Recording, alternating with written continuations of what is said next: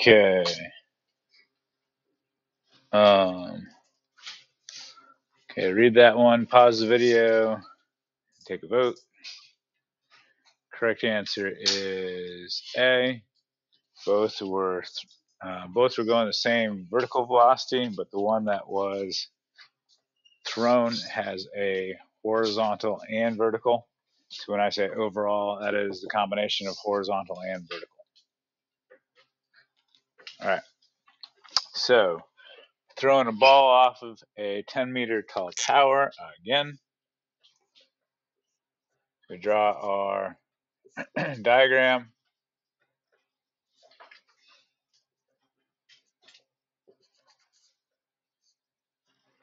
Okay. Here's my initial, here's my final. All right, I want you to fill out this chart.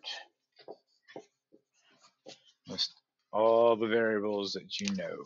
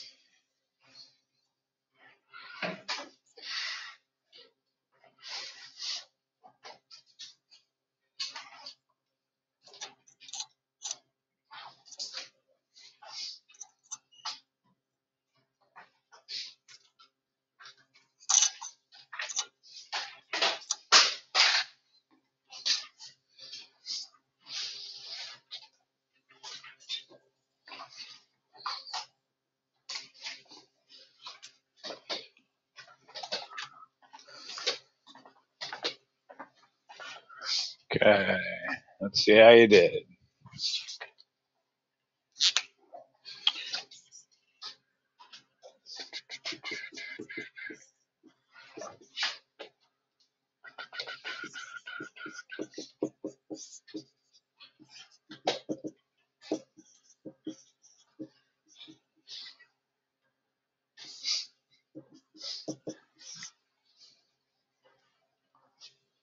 How'd do?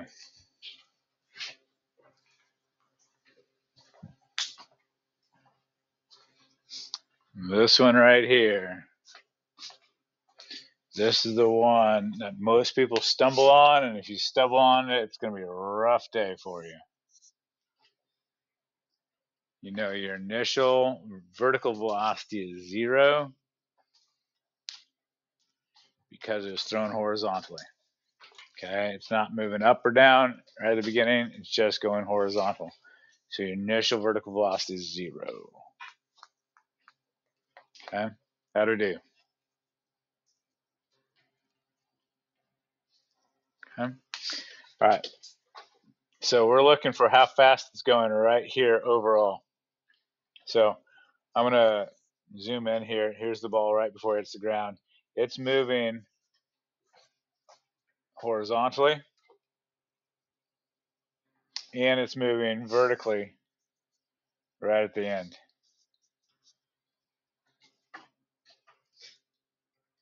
Once I figure out both of those, Then I can figure out the overall velocity by finding the resultant velocity.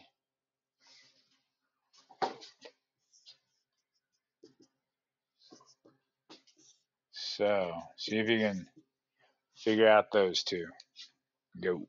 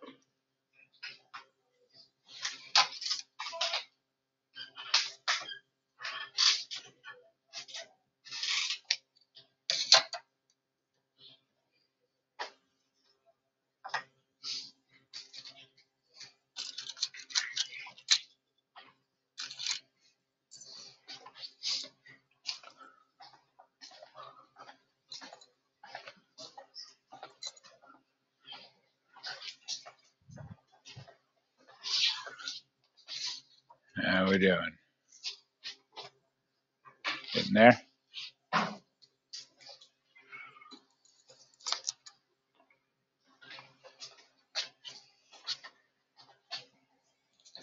So this one is just straight up six. No math required because the velocity is constant. Okay. This one you need to do math. So we're going to use this equation.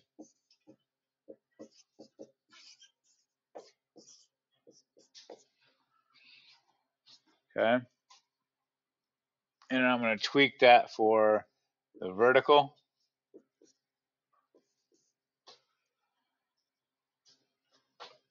Okay. So I've got my at 0 plus 2 times negative 9.8 times a negative 10.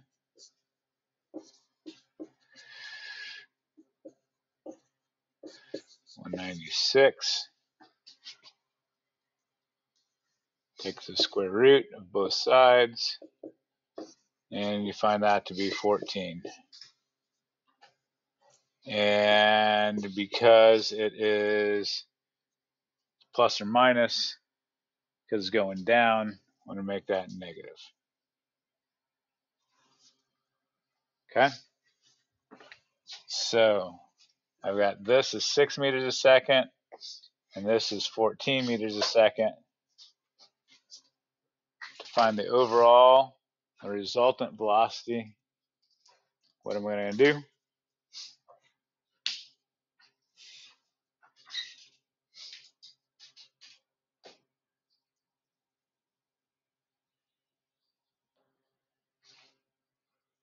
I am going to tell your neighbor what I should do.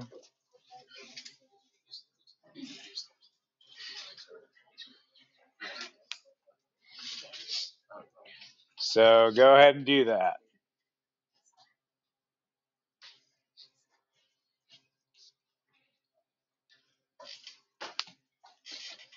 You head to tail, cut and paste, resultant,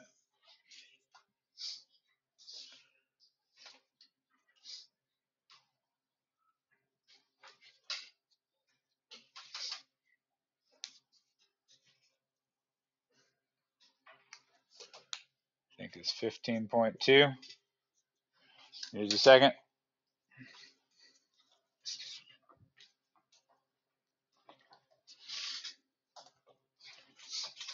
Okay, so from the previous question,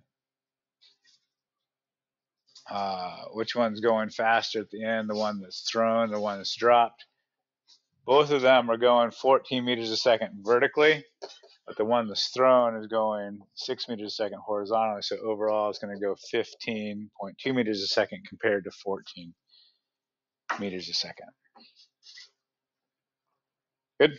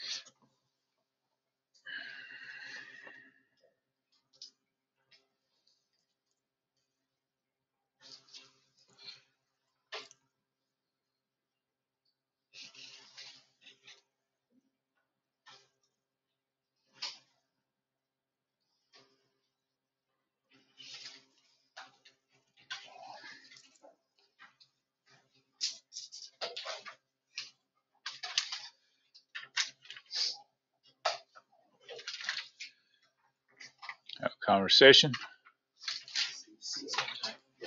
Tell them why you think so.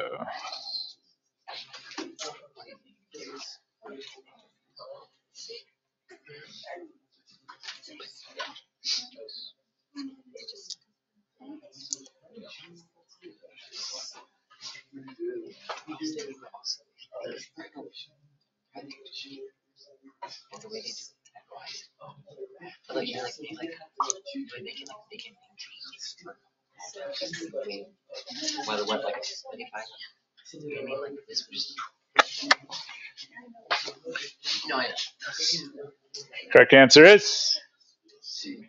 correct answer is C. Same time. Does not matter how fast it's going horizontally. Vertically, it remains at rest. Or sorry, not remains. Starts at rest vertically. Now hit at the same time. Crazy. Okay. Last question.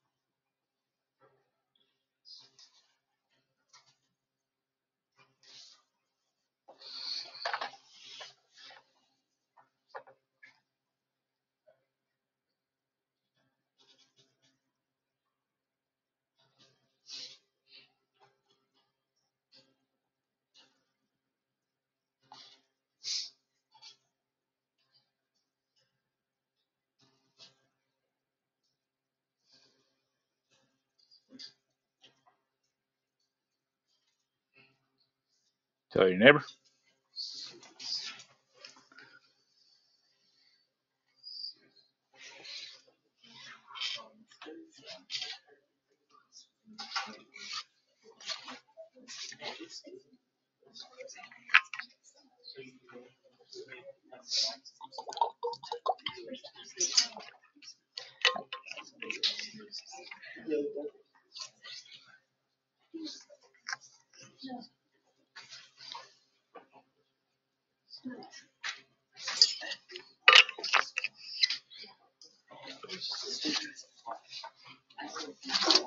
Correct answer is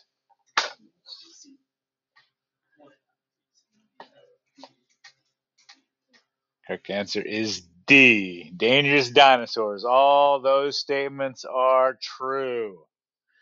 None of them are false. Okay. The entire uh, during the entire flight, the minimum speed is initial velocity, original velocity. Yes, it speeds up as it falls.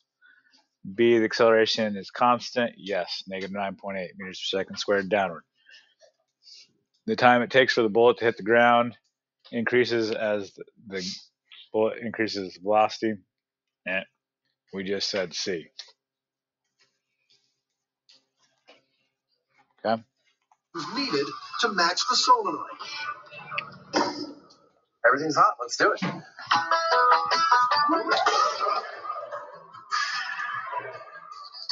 And after a few test fires and a bit of fine tuning, it works.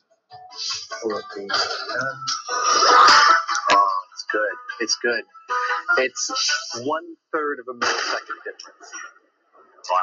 That's freaking perfect. Let's go do this full scale. Okay. Which means rolling up the room 360 feet to stake out a drop zone. Right about there. That's where they were landing out in the shooting range, so this is where I expect them to land here. Okay. Adam lays down a runway of white paper so the high speed camera will clearly see and measure both bullets at the same time, in the same place, and in the same shot. All we need now in the drop zone is Jamie's drop rig. So the boys can take a shot at physics history. All right, dude, you ready to do this for real? I think we'll hit it on the first shot. Really? Oh yeah. you never make predictions. That's awesome. Bullet drop versus fired. In three, two, one.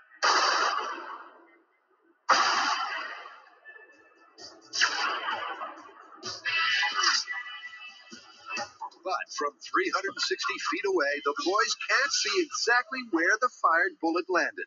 Let's go see where it hit. So Adam takes a one wheeled ride down the room to check out the drop zone.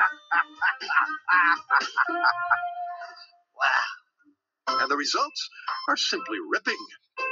Can't get much closer than that. Ugh. I can't wait to see the high speed. So, dude, this bullet carved a streak right under the drop zone. I think this might be the shot we've been looking for. In real time, it's impossible to tell what happened. Until Adam analyzes the high speed and crunches the numbers. 3677 minus 3915 equals 238 divided by 6. Dude, the difference is 39.6 milliseconds. Which means it's less than the human eye can make out. So after days of brain teasing tests, the Mythbusters can claim a world first for themselves. And a victory for physics. Good deal. That's the physics show today, kids. Yeah.